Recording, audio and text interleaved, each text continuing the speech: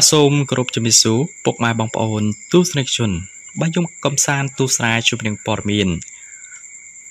លោកអអ៊ំស្ទូសំណោចអំឡុងពេលដាវី live ជាវីដេអូហើយលោកបានប្រាប់ថា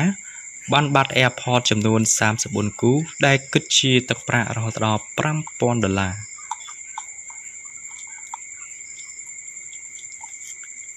លោកអអ៊ំដែលធ្វើនៅគ្រប់ត្រូលកំពុងទស្សនាសោចជាមួយនឹងការសារភាពប្រាប់ត្រង់ត្រង់ ពីការបាត់បង់ឬជារបស់របរពិសេសគឺការបាត់ Airport អ្នកគ្រប់គ្រងមួយចំនួនច្បាស់ជាបានដឹងហើយថាមេក្រុម BTS RM ត្រូវបានអ្នកគ្រប់គ្រងដាក់រហស្សនាមថាដៃភ្លើងជើងមន់អំឡុងពេលដែល V Live នៅថ្ងៃទី14ខែធ្នូតារាដែលមានប្រជាប្រិយភាពមួយរូបនេះបាននិយាយបណ្ដាសើចបណ្ដាថាការបាត់ Airport របស់លោកជារឿងធម្មតារបស់លោកដែលនេះគឺជាគូខ្សែ 34របស់លោកដែលមានន័យថាខ្ញុំបានទិញពីមុន គឺ33គូរួចទៅហើយគូបញ្ជាក់ផងដែរថា BTA បានធ្វើការបាត់ Airport ចំនួន34គូបើសរុបជាទឹកប្រាក់វិញ ប្រមាណជាង5000ដុល្លារមេក្រុមអអមដែលជាសមាជិកម្នាក់ដែលគេតែងតែស្គាល់ច្បាស់ថា លោកគឺជាដៃភ្លើងជើងមន់ដែលមានន័យថាអអមតែងតែធ្វើឲ្យរបស់របរខូចបាក់ឬបាត់បង់ជាដើមផងដែរ បើចឹងនេះគឺជាព័ត៌មានតកតងជាមួយនឹង Fan Fan ពិតជាទុះសំណោចទាំងពេលដែរអអមគឺលោកបានធ្វើឲ្យ Airport នោះគឺបាក់ផងដែរឬក៏ខូច ដែលនេះគឺជាគូបាទី34ហើយចឹងពិតជាធ្វើឲ្យ fan បាទផ្ទុះការសំណោចនៅពេលដែល V live ជាវីដេអូផងដែរ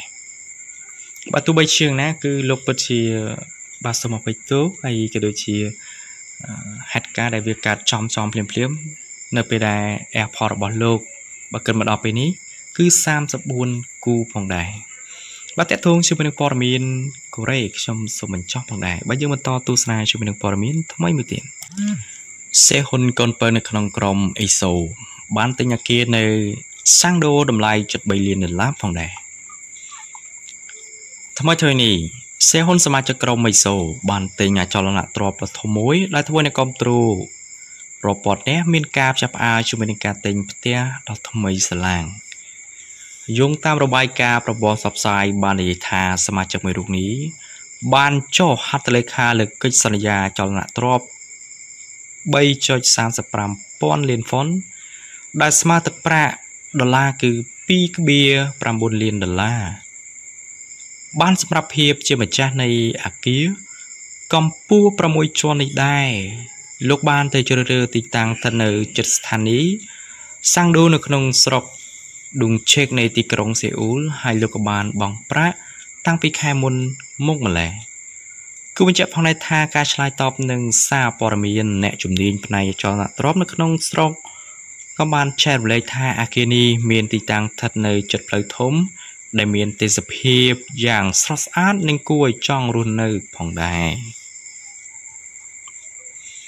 បាទនេះគឺជាត្រាចម្រៀងបាកូនពៅនៅក្នុងក្រុមអេសូបាទចឹងវាពិតជាទទួលបាន បាការគ្រប់គ្រងច្រើនមែនតើនៅពេលដែលលេខលើដំណឹងក៏ដូចជាបានអ្នកវិភាគចលនាទ្របមួយរូបក៏បានលើកឡើងថាត្រាចម្រៀងសេហ៊ុននេះគឺលោកបានទិញអាគារដែលតម្លៃរហូតដល់បាទ2.9លានដុល្លារដែលនេះគឺជាតម្លៃដ៏ថ្លៃមួយផងដែរជាពិសេសគឺលោកបានបង់ផ្ដាច់រួចរាល់ហើយ ហើយជាពិសេសគឺការទិញនេះគឺនៅលើផ្លូវបាសធំទៀតដែលមើលទៅ ដែលមានទេសភាពត្រស់ស្អាតមែនទែនជាមួយនឹងតារាចម្រៀងបាសេហ៊ុនបាទជាងអាគារនេះ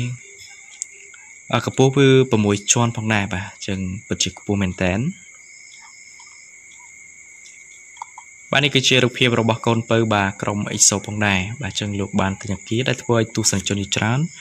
ពិតជាសប្បាយចិត្តបាទនៅពេលដែល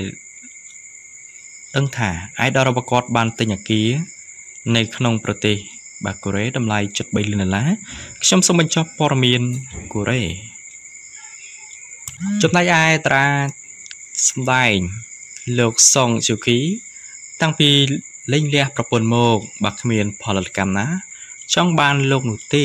ព្រោះតែ នៅពេលនេះតារាសម្ដែង ប្រុសលោកសុងជុងគី បានប្រកាសដើរចេញមិនបន្តកិច្ចសន្យាជាមួយនឹងភ្នាក់ងារផលិតកម្មបន្ទាប់ពីកុងត្រារបស់លោកនឹងហួសកំណត់នៅចុងឆ្នាំ2019នេះយោងតាមការរីកាបានឲ្យដឹងថាត្រាប្រលោកសុងជុងគីបានសម្រេចចិត្តបញ្ចប់កិច្ចសន្យារយៈពេល7ឆ្នាំរបស់ខ្លួនជាមួយនឹងផលិតកម្មហើយលោកនឹងបន្តចាប់ផ្ដើមផ្លូវសិល្បៈជាថ្មីដោយខ្លួនឯងដល់ឡែក នៅក្នុងនោះលេខលើពាក្យចាំរាម ថាលោកសុងជុងគីនឹងចុះផលិតកម្មខាខៅអឹមវិញ បន្ទាប់ពីលោកបានចាក់ចេញពីផលិតកម្មចាស់ប៉ុន្តែទោះជាយ៉ាងណា ខាងផលិតកម្មខាខៅអឹមក៏បានចេញមុខបដិសេធយ៉ាងរហ័សដោយថា ខាងផលិតកម្មគ្មានដំណងជ្រើសរើសយីលោកលោកយកលោកសុងជូគីនោះទេ មិនថាយ៉ាងណាបន្ទាប់ពីបញ្ចប់កិច្ចសន្យានៅចុងឆ្នាំនេះលោកសុងជូគីនឹងក្លាយទៅជាតារាសម្ដែងឯករាជ្យគ្មានឋានៈក្រោមផលិតកម្មឬភ្នាក់ងារណាមួយដោយដែលតារាសម្ដែងប្រុសល្បីពីដួងទៀតដូចជាលោកគីមហ្វូប៊ីននិងគីមស៊ុយជុនផងដែរបាទសម្រាប់ឆ្នាំ2020នេះគឺលោកបានបញ្ចប់បាកិច្ចសន្យាជាមួយនឹងផលិតកម្មចាស់ហើយ ហើយក៏ដូចជាមានព័ត៌មានលេចលឺថាលោកសុងជូវីនីបានទៅចូលផលិតកម្មបាទគឺខាខៅអឹមចឹងផលិតកម្មនេះក៏បានធ្វើការ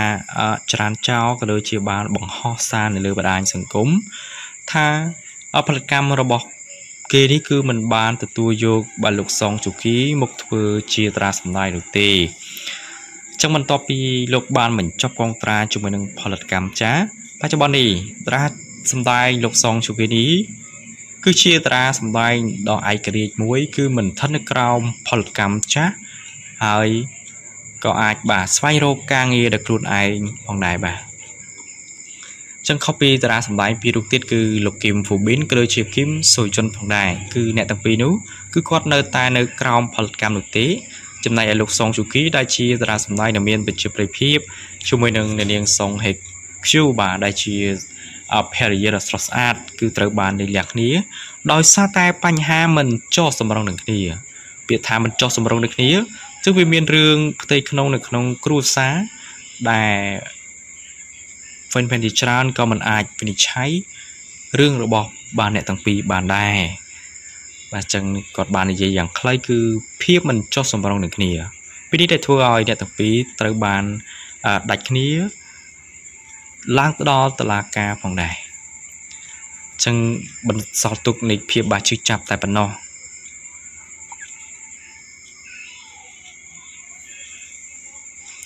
ហើយនេះគឺជាតារាប្រុសលោកគឹមហ្វូប៊ីនបាទប្រិមិត្តបានស្គាល់